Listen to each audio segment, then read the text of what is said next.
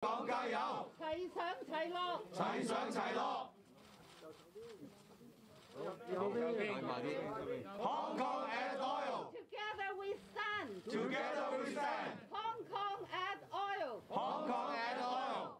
According to the basic law, there are separation of power in the, under the uh, stipulation of the basic law. But today, the decision made by the central government simply say that all the separation of power will be taken away and all the power will be centralized in the chief executive. Of course, chief executive is the puppet of the central government. So as a result, the, that is the basic argument why we say the, that it, today is the end of the one country two system.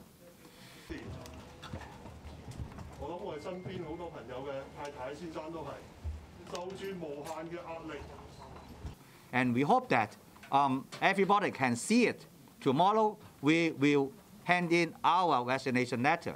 And we hope that although we are facing a lot, a lot of difficulties in the coming future for the fight for democracy, but we keep up. Never for never, never give up.